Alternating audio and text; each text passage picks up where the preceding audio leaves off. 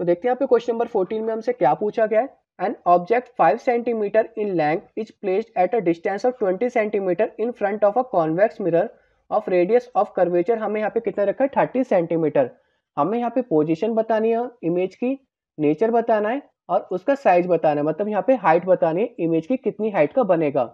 तो यहाँ पे करते हैं सॉल्व और देखते हैं हमें यहाँ पे क्या क्या गिवन दे रखा है। तो सबसे पहले हमें यहाँ पे ऑब्जेक्ट डिस्टेंस की बात कर लेते हैं, जिसको हम यहाँ पे यू से डिनोट करते हैं। तो ऑब्जेक्ट डिस्टेंस हमें यहाँ पे कितना दे रखा है? इसको यू से डिनोट करते हैं। वो हमारा यहाँ पे कितना होगा? माइनस का ट्वेंटी सेंटीमीटर होगा।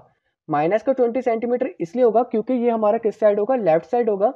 लेफ़्ट साइड होने की वजह से हम यहाँ पे इसको क्या लेंगे? माइनस का ट्वेंटी सेंटीमीटर क्योंकि ये हमारा कॉन्वेक्स मिरर के फ्रंट पे बन रहा है। तो फ्रंट पे बनेगा तो यहाँ पे लेफ़्ट साइड बनेगा। इसलिए हम यहाँ पे इसको नेगेटिव साइन लेके चलेंगे। अब यहाँ पे बात कर लेते हैं इमेज डिस्टेंस की। इमेज डिस्टेंस हमें यहाँ पे नहीं पता।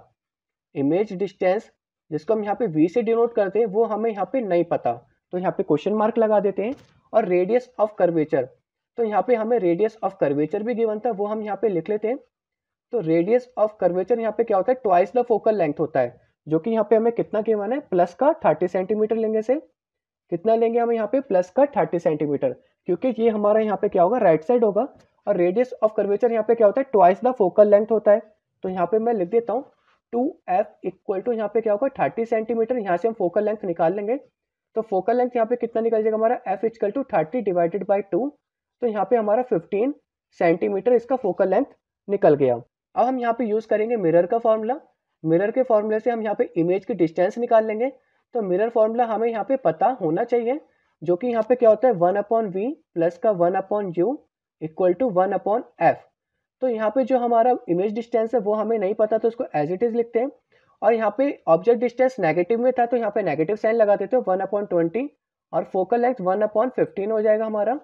अब यहाँ पे जो माइनस का वन अपॉन ट्वेंटी है, वो राइट साइड ट्रांसपोज हो जाएगा तो वो प्लस में हो जाएगा तो वन अपॉन ट्वेंटी प्लस का वन अपॉन फिफ्टीन इसको यहाँ पे सॉल्व करते तो one upon V equal to इसका एल्सियम यहाँ पे कितना आएगा?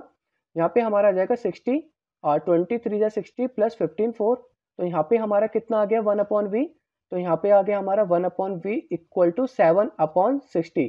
तो v की वैल्यू देखी जाए तो वहाँ पे कितनी हो जाएगी? सिक्सटी अपॉन सेवन आ जाएगी। अब हमें यहाँ पे क्या करना है? इसको डिवाइड करना है। तो डिवाइड यहाँ पे कैसे करते हैं? यहाँ पे देख लेते हैं साइड में इसको। तो सिक्सटी को हमें सेवन से डिवाइड करना है। तो यहाँ पे क्या होगा हमारा? सेवन, एट जा फिफ्टी सिक्स फिर यहाँ पे कितना आ जाएगा? फोर्टी आ जाएगा। पॉइंट लगा देंगे। और सेवन सेवन जा यहाँ पे क्या होगा? नहीं, सेवन नहीं आएगा। यहाँ पे सेवन, फाइव जाएगा। सेवन फाइव जा थर्टी फाइव, फिर दोबारा यहाँ पे कितना आ गया? फिफ्टी आ जाएगा और सेवन सेवन जा फोर्टी नाइन। तो एट पॉइंट फाइव सेवन हमारा क्या आ जाएगा? सेंटीमीटर आ जाएगा इसको डिवाइड करने के बाद। Eight point five seven centimetre. तो जो हमारी इमेज की डिस्टेंस है, वो यहाँ पे कितनी आ चुकी है हमारी? 8.57 सेंटीमीटर आ चुकी है। अब हमें यहाँ पे इमेज की हाइट भी बतानी थी। तो हमें इमेज की हाइट के लिए हमें यहाँ पे मैग्निफिकेशन का फॉर्मूला पता होना चाहिए मिरर के लिए। तो यहाँ पे पहली बात कर लेता हूँ यहाँ पे जो एच टू हाइट होगी वो यहाँ पे इमेज की हाइट होगी किसकी हाइट होगी यहाँ पे इमेज की हाइट होगी और जो एच वन हाइट होगी वो यहाँ पे ऑब्जेक्ट की हाइट होगी जो कि हमें यहाँ पे गिवन थी ऑब्जेक्ट की हाइट हमें यहाँ पे कितनी गिवन थी फाइव सेंटीमीटर गिवन थी तो इसका जो मैग्निफिकेशन ऑफ़ मिरर का फॉर्मूला होता है वो यहाँ पे दो फॉर्मूले होते हैं एक तो यहाँ पे होता है एम यहाँ पे मैग्निफिकेशन ऑफ़ मिरर है एक होता है यहाँ पे माइनस का वी अपॉन यू और सेकंड होता है हमारा यहाँ पे M equal to H two upon H one तो हम यहाँ पे दोनों को कंपेयर कर देंगे तो यहाँ पे क्या आएगा? माइनस का V upon U equal to H two upon H one तो इस फॉर्मूले में हम वैल्यू पुट करके हम यहाँ पे हाइट निकाल सकते हैं इमेज की। तो माइनस का वी तो माइनस का वी का मतलब माइनस का एट पॉइंट फाइव सेवन हो जाएगा। और माइनस यू जो हमारे यहाँ पे था? माइनस का ट्वेंटी था तो यहाँ पे माइनस का ट्वेंटी कर देंगे। और ये दोनों आपस में कट के पॉजिटिव हो जाएँगे। और जो हमारे एच टू है, वो हमें यहाँ पे गिवन नहीं है तो इसको एज इट इज़ लिखेंगे। और एच वन हमें यहाँ पे कितना गिवन है? फाइव गिवन है।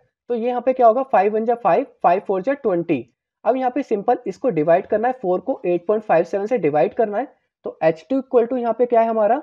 Eight point five seven divided by four तो देखते हैं इसको फोर से डिवाइड करके कितना आ रहा है। यहाँ पे हमारा आ जाएगा फोर टू जा एट पॉइंट फोर वन जा फोर फिर यहाँ पे आ जाएगा हमारा फोर फोर जा सिक्सटीन तो यहाँ पे एच टू कितना आ गया हमारा? टू पॉइंट वन फोर तो इसको अप्रोक्स में लिखना हो तो हम यहाँ पे क्या लिख लेंगे टू पॉइंट टू सेंटीमीटर क्या लिख सकते हैं इसको टू पॉइंट टू सेंटीमीटर लिख सकते हैं तो यहाँ पे जो हमारी हाइट है वो भी यहाँ पे निकल चुकी है तो हमने यहाँ पे इमेज की डिस्टेंस निकाल ली हाइट निकाल ली यहाँ पे इमेज की अब हमें यहाँ पे नेचर बताना है तो नेचर जो होगा इसका यहाँ पे क्या होगा वो हम यहाँ पे देख लेते हैं इसका जो नेचर होगा वो यहाँ पे क्या होगा जो इमेज बनेगी वो यहाँ पे क्या बनेगी वर्चुअल बनेगी वर्चुअल बनेगी इरेक्ट बनेगी और बिहाइंड द मिरर बनेगी कहाँ पर बनेगी बिहाइंड द मिरर बनेगी इमेज होप आपको ये वाला आंसर भी इसका समझ में आ गया होगा. अब हम यहाँ पे चलते हैं अपने नेक्स्ट क्वेश्चन की तरफ़.